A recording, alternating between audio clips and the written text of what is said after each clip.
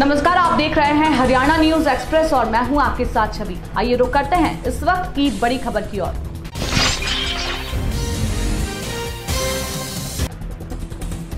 बावल के गाँव टाकड़ी के पहाड़ों में बने एक कमरे में एक शख्स का अधजला शव मिला है। मृतक के सिर में चोट मारकर हत्या की वारदात को अंजाम दिया गया है। मौके पर पहुँची बावल थाना पुलिस शव को कब्जे में लेकर शव की शिनाख्त के लिए प्रयास कर रही है। पुलिस को सूचना मिली थी कि गाँव टाकड़ी के पहाड़ में बने एक कोचरे में एक अज्ञात व्यक्ति का अधजला शव पड़ा हुआ है। इसके सिर में गहरा घाव है और आसपास खून बिखरा हुआ है। सूचना मिलने के बाद मौके पर पहुँची पुलिस ने आसपास के इलाके की छानबीन की और लोगों से पूछताछ भी की। लेकिन न अभी तक शव की शिनाख्त हो पाई है और न ही कोई साक्ष्य पुलिस के हाथ लगे हैं। प्राथमिक जाँच में ये सामने ज़रूर आया है कि पत्थर से सिर पर वार करके सिर को कुचला गया है और हत्या की इस वारदात को अंजाम दिया गया है। इसके बाद सबूतों को मिटाने के लिए शव को चलाने का भी प्रयास किया गया है। पुलिस का कहना है कि अभी शव की शिनाख्त के लिए प्रयास किया जा रहा है। इसके बाद ही हत्या की इस गुत्थी को सुलझाया जा सकेगा। हत्या किसने और क्यों की है और मरने वाला व्यक्ति कौन है? ऐसे कई सवाल है जिनका जवाब पुलिस तलाश रही है। लेकिन इन सभी सवालों के जवाब के लिए ज़रूरी है कि पहले शव की शिनाख्त हो, क्योंकि शव की शिनाख्त के बाद ही पुलिस की जाँच आगे बढ़ पाएगी और शिनाख्त के बाद ही हत्यारों तक पहुंचकर हत्या की इस गुत्थी को सुलझाया जा सकेगा।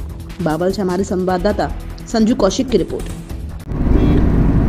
आज हमारे बावल थाना क्षेत्र में टांकड़ी एक जगह है टांकड़ी।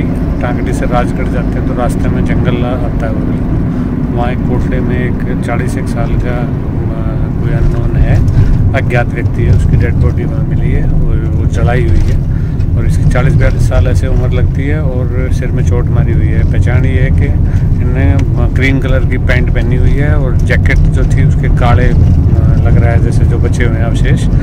काला वो है, उसका, जो इलास्टिक होता है हाथ में लगने वाला, और और इसमें जो है ना, बाकी तो दो कड़े हैं जो तांबे के या पीतल के कड़े जो पहने होते हैं उन्होंने दो कड़े भी पहने हुए हैं हाथ में। तो ये है इसमें पहचान में सब मदद करें, ताकि ये अपराधी पकड़े जाएँ जल्दी से जल्दी थैंक यू हमारे फेसबुक पेज को लाइक फॉलो और शेयर करें। साथ ही यूट्यूब चैनल को लाइक करें सब्सक्राइब करें और ताज़ा खबरों के लिए बेल आइकॉन को दबाना न भूलें।